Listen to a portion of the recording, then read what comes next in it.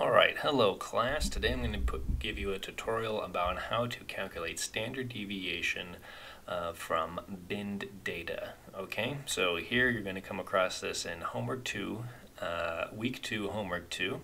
Uh, so it'll be about uh, after the first exam.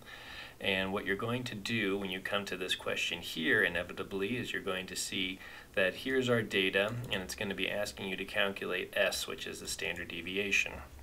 Now you can try and do this by hand using this big old formula, which I would strongly recommend, or you can use StatCrunch, and I'll show you how to do it with that method. All right, so first you see the data here. You don't have to enter it in manually. Instead, click on the blue squares, select the option Open in StatCrunch.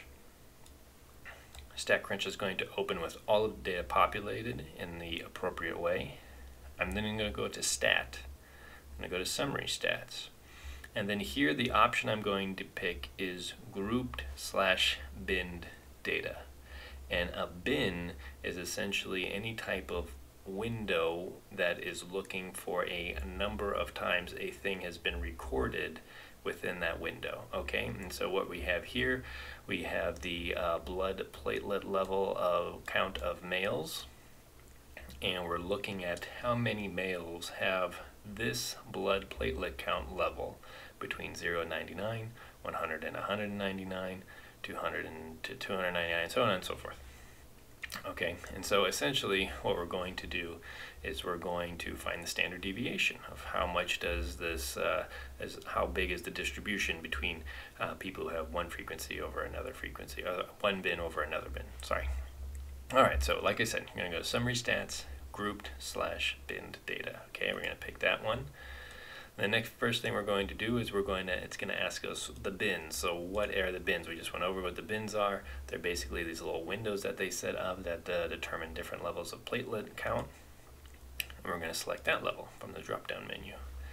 And then it's going to ask where are the counts. The counts are in the frequency. It's the only option we have left, right? These are the actual people who have how many people actually fall within each bin. That's the frequency. How frequently do we have people falling in one bin versus another bin?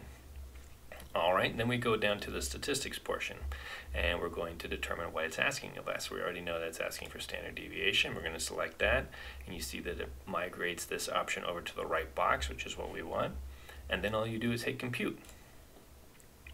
And then you have to make sure that you read the instructions very carefully. It's going to give me an output box here right? It's going to tell me that the uh, approximate summary statistics at the standard deviation of the blood platelet count of males is, is exactly 63.635, 63.355147. And what it's asking us is to round to one decimal place as needed. So we're going to round uh, 63.35 to 63.4. And when I put that in, that was the correct answer. Okay, so this is how you'll do it. This is not going to be the uh, same data that you will have for your question. Uh, so please do not just copy this answer and put it into your homework because that will most likely not be correct. Uh, just follow the steps that I gave you and you will be golden. Okay, if you have any questions, email me.